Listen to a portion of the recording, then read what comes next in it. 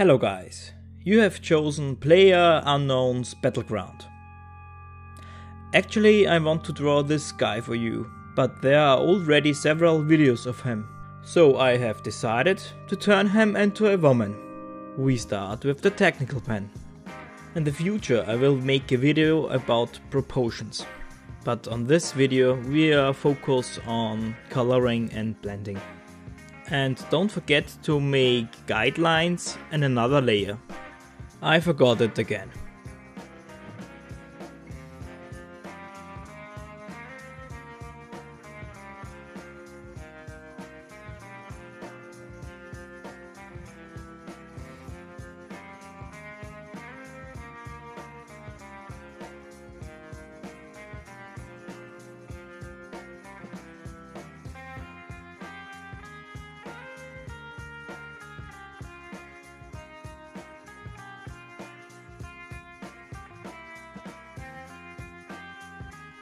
Finished! Doesn't look so bad. Now we can start coloring. Recreate the new layer. And we use the inking pen to paint the sketch.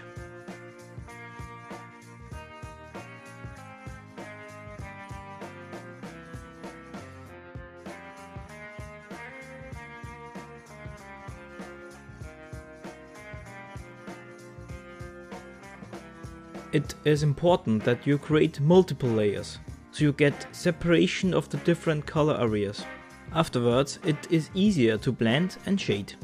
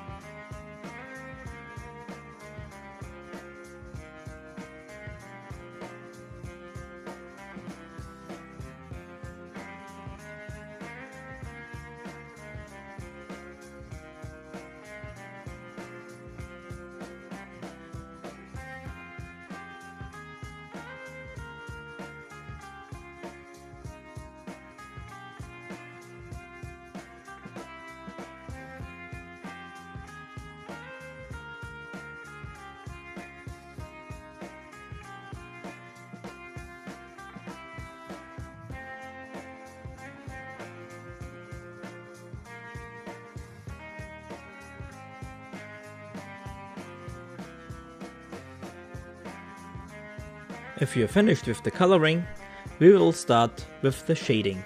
Here it is important to lock the layer. If the layer is locked, you cannot paint over the colored areas. That makes it a lot easier. With the color picker, I choose the main color and make it lighter or darker.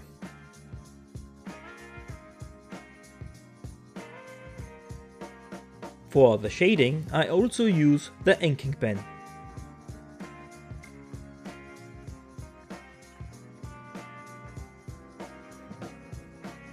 I take care that I reach at least 3 different brightness levels, so later it appears more 3-dimensional.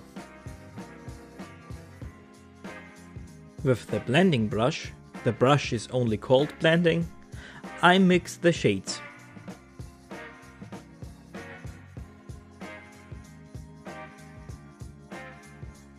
But I also blend with the smudge web brush, with this brush, you can create a great textile effect.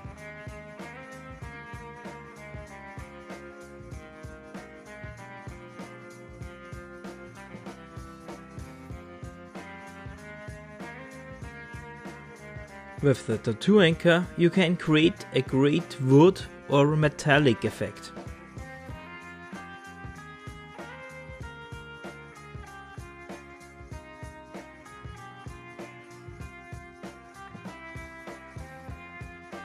I also use the tattoo inker for the hair.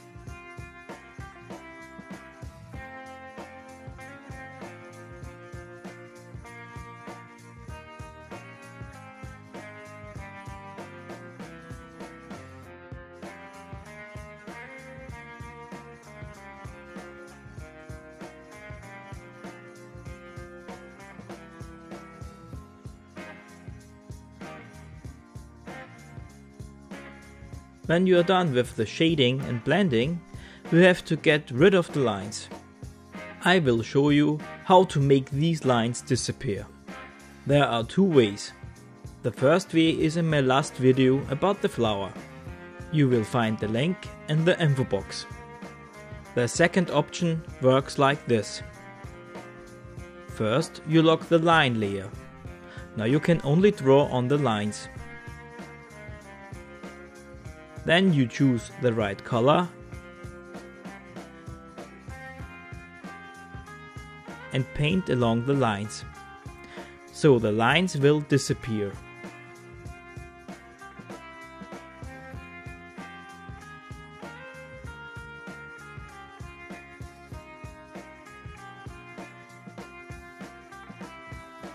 You can also reopen the line layer after painting and blur the lines with the blending brush.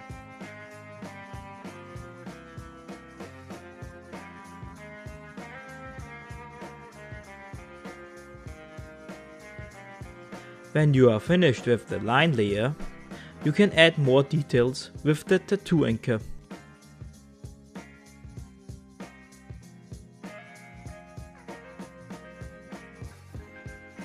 With the flower brush, you can improve the shadows.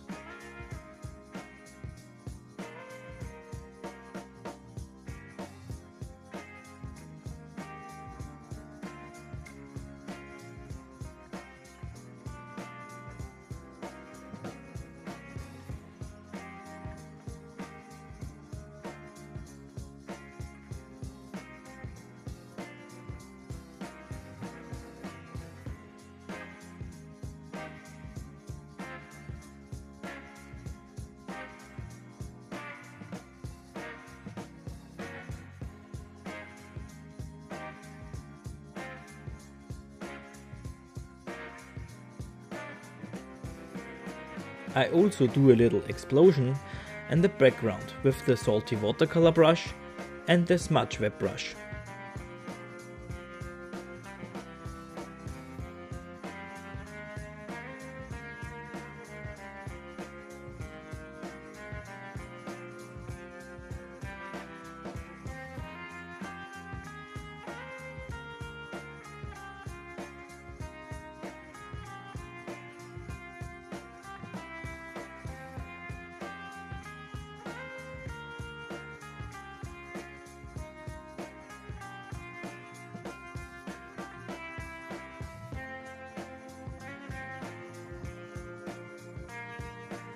With the glow brush, I add a glow effect that always looks great.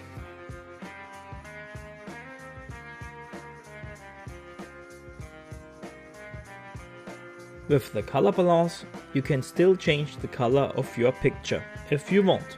Of course, all layers have to be connected before. That's it.